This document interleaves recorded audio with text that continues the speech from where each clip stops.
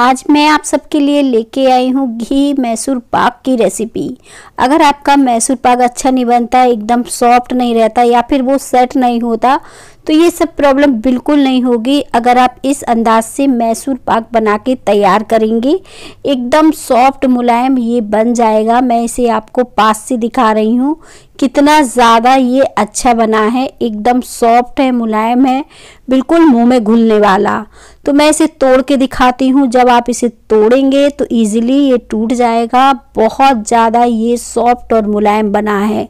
एकदम परफेक्ट है। तो चलिए बनाना शुरू करते हैं। घी मैसूर पाक को। यहाँ पे हम एक कप बेसन लेंगे। यहाँ पे आप कोई भी बेसन ले सकते हैं। मोटा हो या बारीक हो। लेकिन ज़्यादातर बारीक हो तो ज़्यादा अच्छा है। मोटा इसमें ज़्यादा ज़रूरत नहीं रहती है।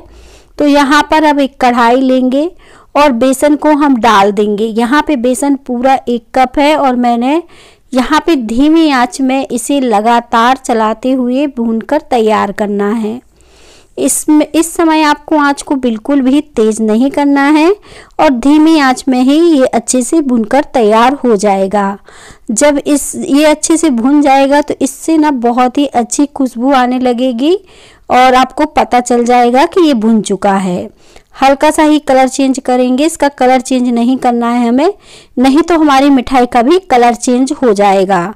तो इस बात का भी ध्यान रखना है, इसीलिए इसे धीमी आँच में लगातार चलाते हुए भूनकर तैयार करेंगे।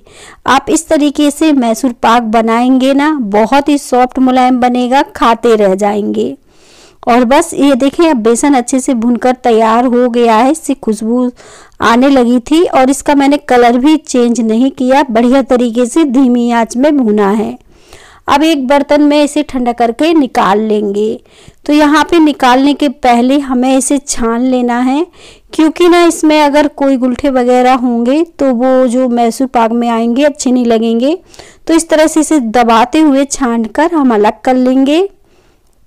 और देखिए, ये भुना हुआ बेसन एकदम परफेक्ट है और इसका कलर भी चेंज नहीं हुआ है। आप क्या करेंगे? यहाँ पे हमें घी का इस्तेमाल करना है क्योंकि ये घी मैसूर पाक है तो यहाँ पे आप घर का घी बना ले सकते हैं या फिर मार्केट का जो भी आपके पास हो और धीरे धीरे करके इसे मिला दीजिए। आप इस मिठाई को रिफाइंड से भी बना सकते हैं, लेकिन घी से ज़्यादा अच्छी बनती है तो बस मैंने यहाँ पे घी का इस्तेमाल किया है। अब मैंने यहाँ पे आधे कप घी इसमें डाल दिया है और इसे अच्छे से मिक्स किया है। कुछ इस तरह से ये बैटर बनके तैयार हुआ है। बहुत ज़्यादा ये गीला नहीं है और बहुत ज़्यादा ये टाइट नहीं है। कुछ इस तरह से मैंने इसे बना के रख लिया है। अब एक कढ़ाई ले लेंगे। तो यहाँ पे अब हम एक कप चीनी का इस्तेमाल कर रहे हैं। अगर आप मीठा थोड़ा कम पसंद करते हैं तो थोड़ा सा चीना, चीनी को कम भी कर सकते हैं। पर एक कप बिल्कुल परफेक्ट मेज़रमेंट है। यहाँ पे आधे कप पानी डाल दीजिए। एक कप चीनी में पानी बहुत ज़्यादा डालने की ज़रूरत नहीं है और इसे लगातार चलाते जाइए।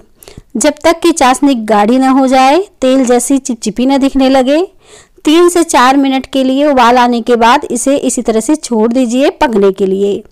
अब तीन से चार मिनट बाद हम इसे चेक करेंगे। तीन से चार मिनट में देखेंगे, काफ़ी गाढ़ी दिख रही है और इसको इस तरह से निकालेंगे। हल्का सा हम इस चाशनी को ठंडा करेंगे और उंगलियों से इस तरह से चेक करेंगे। इसका तार बहुत ही बढ़िया बनके तैयार होगा। आप देखिए कितना ज़्यादा इसमें तार आ गया है। तो बस आँच को आप बंद कर दीजिए, क्योंकि इससे ज़्यादा आँच की अब हमें ज़रूरत नहीं है। और देखिए कितनी ज़्यादा ये उंगलियों पे गाड़ी जैसी दिख रही है। तो एकदम परफेक्ट ये चाशनी हो गई है। मैंने गैस को बंद कर दिया है। और मैं इसे अब आपको इस तरह से पास से दिखा रही हूँ कि कितनी गाढ़ी है ये। और इस तरह से हल्का सा चला भी रही हूँ। अब बंद गैस में ये सारा काम कर लीजिए। बेसन को धीरे धीरे डालते जाइए ताकि इसमें गुलटी वगैरह ना पड़े और एकदम सॉफ्ट मुलायम आपकी मिठाई बनके तैयार हो। इस समय अब हमारी गैस जो है बंद है और अब मैं इसे अच्छे से फेंट के तैयार कर रही हूँ। और जैसे जैसे अब हम इसे चलाते जाएँगे वैसे वैसे ये ठीक होना शुरू हो जाएगा। अगर आपको ज़रूरत पड़े तो आप थोड़ी देर के लिए गैस भी ऑन कर सकते हैं। पर देखें, इस तरह से बनाएँगे, एकदम परफेक्ट बन जाएगी, इस तरह से चलाएँगे, क्योंकि कढ़ाई अभी हमारी गर्म है, और ये इस तरह से थिक होना शुरू हो जाएगी। लास्ट में हम दो चम्मच के करीब हम इसमें घी ऐड कर देंगे। आप चाहो तो ये पूरा घी भी ऐड कर सकते हो, लेकिन मैंने बस सिर्फ़ दो चम्मच और डाला है, और जो घी बच गया था, उसे मैं साइड रख दूँगी, क्योंकि इससे ज़्यादा घी मुझे नहीं डालना है। आप चाहो तो थोड़ा घी और भी डाल सकते हो। तो ये घी जो बचा हुआ है, इसे साइड रख देते हैं। और अब जो हम घी डालेंगे तो ये कढ़ाई को पूरी तरह से छोड़ देगी और ज़्यादा ये थिक हो जाएगी। और इस तरह से जब आप इसे फेंटेंगे तो इससे क्या होगा? जो आपकी मिठाई बनेगी, एकदम सॉफ्ट मुलायम बन के तैयार होगी। तो इसे दो से तीन मिनट के लिए इसी कढ़ाई में बढ़िया तरीके से फेंट लीजिए।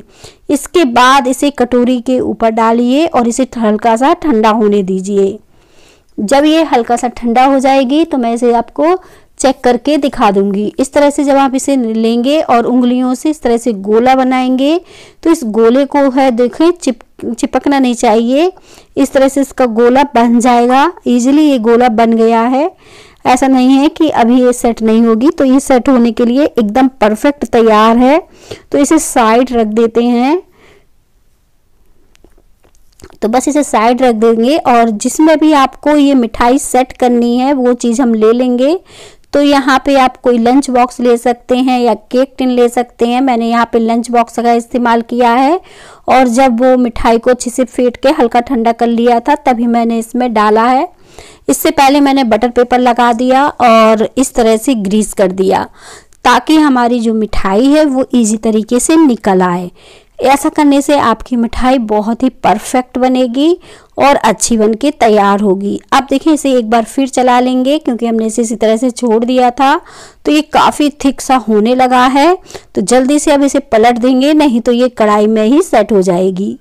तो बस इसे केक टिन में हम डाल देते हैं। अब मिठाई को इस तरह से मैं डाल के अच्छे से फैला दूँगी। मैंने इस मिठाई को बहुत ही सिंपल रखा है। मैसूर पाक है क्योंकि ये खाने में बहुत ही टेस्टी बनता है और एकदम सॉफ्ट रहता है। सबसे अच्छी बात है कि इसके लिए आप, आपको बाज़ार जाने की ज़रूरत नहीं पड़ेगी।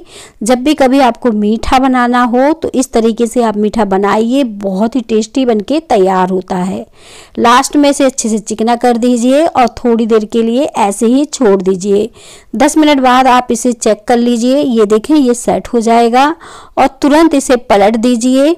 और पलटने के बाद इजीली ये निकल आएगा, क्योंकि इस तरह से मैंने इसे डाला था। अब इसे निकाल दिया है और इसका बटर पेपर भी साइड कर दीजिएँगे। अब मैं इसे आपको काट के दिखा रही हूँ कि कितना ज़्यादा ये सॉफ्ट मुलायम बन के तैयार हुआ है। जब जब भी आप इसे काटेंगे, एकदम सॉफ्ट तरीके से ये कट के तैयार होगा और खाने में बहुत ही स्वादिष्ट लगता है। तो देखिए, यहाँ पे आप पीस अपने हिसाब से छोटे बड़े कर सकते हैं। मैंने इसे कुछ इस तरह से पीसेस में कट किया है। तो घी मैसूर पाक हमारा बनके तैयार हो गया है। अगर आज की रेसिपी आप सबको अच्छी लगे तो जल्दी जल्दी लाइक करिएगा और मुझे कमेंट में बताइएगा कि कैसी लगी घी मैसूर पाक की मिठाई आपको। और देखिए, मैं इसे आप, आपको तोड़ के भी दिखा रही हूँ, एकदम पास से दिखा रही हूँ, कितनी ज़्यादा अच्छी बनके तैयार हुई है। सॉफ्ट है, एकदम बिल्कुल सॉफ्ट ये बनी है। ईजिली ये टूट रही है, मिलेंगे इसी तरह से और नई वीडियो में हम।